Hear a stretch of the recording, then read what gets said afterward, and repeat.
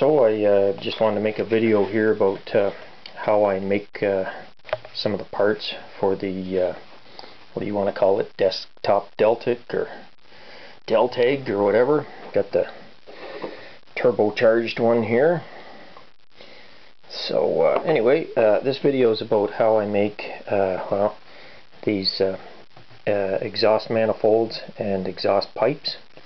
They're fairly small parts uh, the exhaust pipe is uh, 5 millimeter or say 3 16 inch diameter. So they're uh, they're pretty tiny. Uh, just to show you here's my uh, mold for the engine block. So I just pour right into that and then I I have to sand down the the back surface or use a Dremel with the right cutter and and cut it down.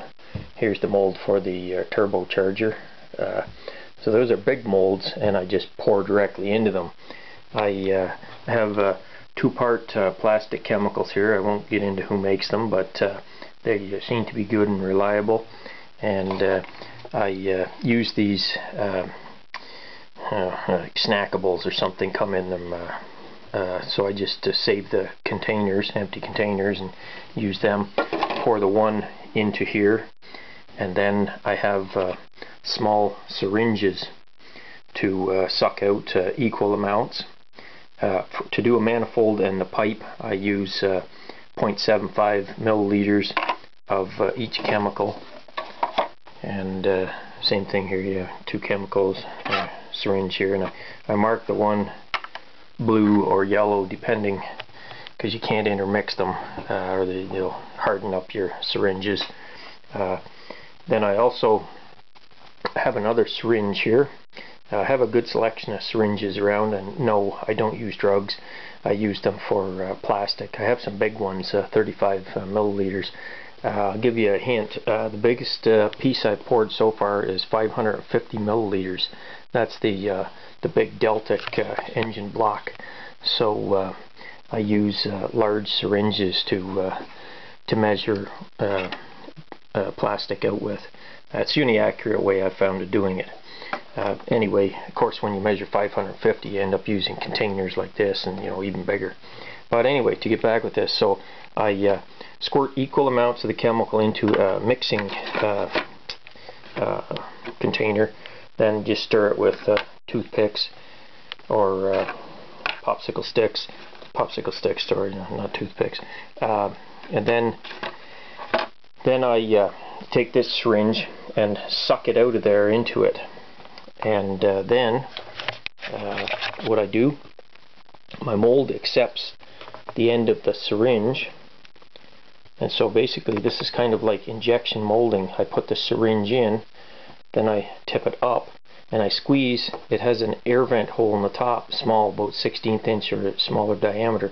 top, you squeeze till some of the liquid starts to come out of there then you stop squeezing and you insert a little plug.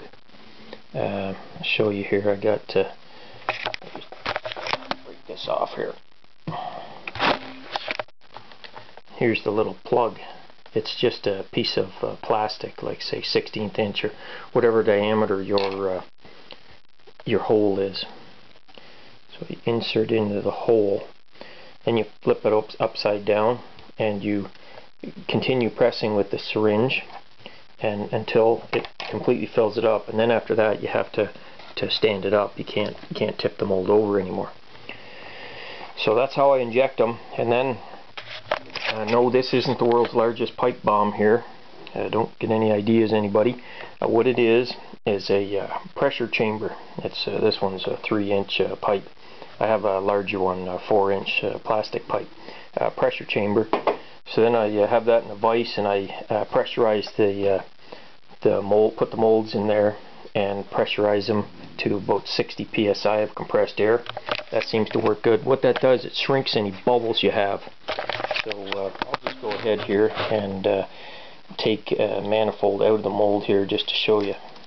I know this part, part isn't on video, but uh, so there it is there.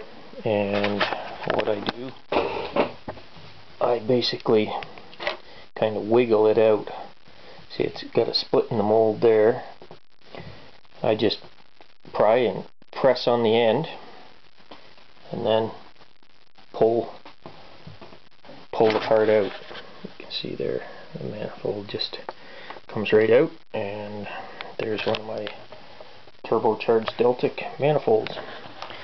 The, uh, the pipe is a little bit harder.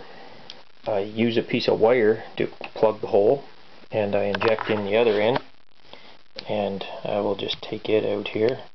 That's a similar process. Have